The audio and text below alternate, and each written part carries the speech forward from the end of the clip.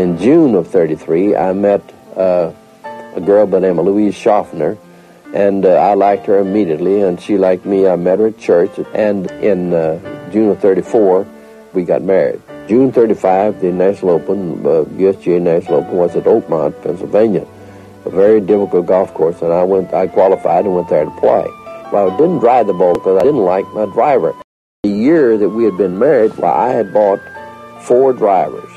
We were staying in a in a home. We weren't didn't have the money to stay in a hotel or anything. So I, after dinner that night, I said to her, I said, uh, uh, "Honey, I I need a new. I'm going to have to get another driver. I'm not driving very well." She didn't say anything. A minute, she stopped and looked at me and, she said, "Honey, uh, you know, we've been married a year now, and I haven't had any new clothes. I haven't had a new dress. I haven't had anything, and I understand that because we've never been doing very well. You haven't been making any money. But uh, you've bought four drivers, and now you want another one, which would be five. Now, either one or two things. You don't know what kind of driver you want, or you don't know how to drive. And she didn't say any more. Well, that hit me right between the eyes, and of course, she's exactly right. So I went out to the golf shop, and the pro then was Dutch Leffler, and I asked him if he could uh, uh, would allow me to go in the back of the shop and handle rasp and work on my driver. And I finally got that face of that driver looking exactly the way that I thought it should look to me. I put a little buzz, a little roll off the toe, a little roll off the heel, and add a little loft to it. And I used that driver and only only about three other in my whole career. That probably was the biggest influence she ever had on me. Uh, she was a wonderful wife, and I forced I lived with her, uh, for she died for 50 years and four months.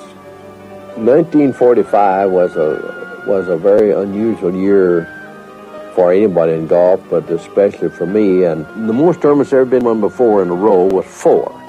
Well, nobody thought much about it when when I won four, and then they started the press, and other people said, "Well, you won four, now can you make it five? You won." Then unfortunately, I won five. Then after you won five, can you make it six? Can you make it seven? You know, it goes on like that, and it's amazing. Tour golf is very difficult. It's it's frustrating and everything else, but good golf is easy. Finally, we got about eight or nine wins in a row. I said to my wife one day when I was getting ready to the course, I said, I'm getting so tired of this. I'd just like to blow up today. I'd, I'd like to get this over with.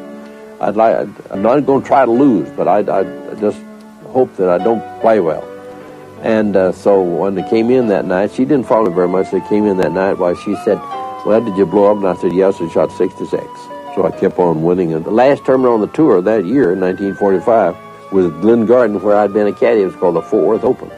And uh, I, I won that tournament. That was the final tournament in 1945.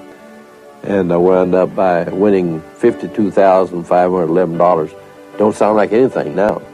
But I left the tour August 1946 and moved here, where I still live the thing that I'm really more proud of than any other one thing is the the uh, as far as golf is concerned is uh, the fact that I uh, played as consistent as which I did, and I finished the money in 113 consecutive tournaments, which is still a record, and uh, that made me realize uh, one thing about myself and about my golf game that I never gave up.